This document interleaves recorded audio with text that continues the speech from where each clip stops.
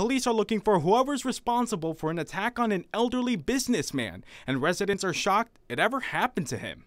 I mean, he's harmless and a super nice guy, so he would have gave you the shirt off his back if asked. Police arrived at Manno Landscaping on Buckeye Road on Monday around noon, only to find the owner, Larry Manno, lying bleeding on the ground.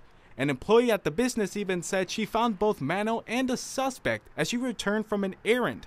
Manno was taken to University Hospital shortly after. Though he was responsive, there's still no word on his current condition. But for the last three days, residents in the area have been worried over Manno's condition. Errol Foster has owned this business across the street for two decades and says Manno never did anything wrong. If he's not around the gate, inside, he's outside, walking the dog. He comes past my business often. Alan Smith, who has worked for Manno in the past, also respects the 74 year old. I love him, I respect him, and I would like to live someday to get his age. While authorities continue their investigation, residents hope those responsible face justice. That little creep that did to God gonna get him.